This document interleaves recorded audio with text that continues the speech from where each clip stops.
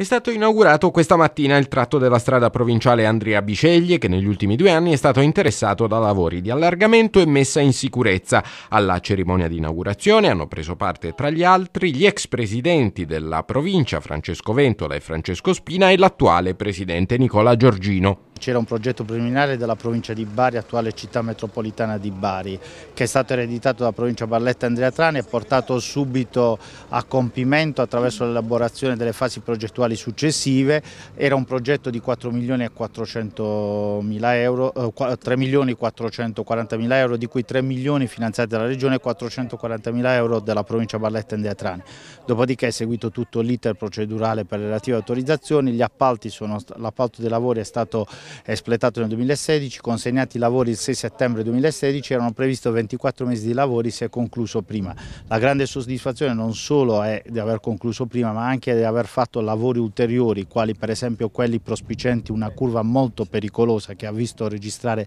tanti tragici eventi luttuosi, che è stata appunto allargata con la predisposizione di un guardrail, identica cosa è avvenuta in prossimità della direzione Bisceglie Andria in direzione Andria, prospicente proprio l'ingresso della comunità di Andria e questo credo che serva a migliorare la circolazione stradale ma soprattutto serve a migliorare la sicurezza della circolazione stradale. I lavori hanno interessato solo una parte della strada provinciale, stante lo smantellamento di fatto che le province hanno subito e grazie al contributo della regione che è stato possibile portare a termine questo importante lavoro, che ora va completato. Il cantiere, come affermato dal presidente della provincia Abbat Giorgino, è stato consegnato con alcuni giorni di anticipo rispetto ai 24 quattro mesi previsti per la consegna dei lavori, ma l'unica parte difficoltosa, quella che ha portato via più tempo, è stata nell'espianto degli ulivi per le porzioni di terreno espropriate. Il resto del tempo necessario lo si è letteralmente perso nella parte burocratica, un dato per tutti. Con il venir meno del personale della provincia per ben tre mesi questo cantiere è rimasto fermo perché è mancata la figura della direzione lavori.